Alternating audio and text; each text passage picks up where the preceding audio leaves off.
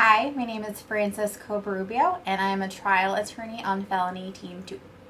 So I grew up in Lodi, California, which is about 45 miles south of here. And I went to college at Sac State. I graduated in 2011.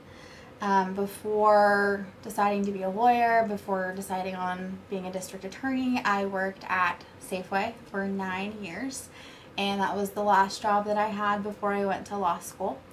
And then I got, or I applied and I got the 2L position here. And then I got the LRA position here after that. And this just felt like home for me from the start.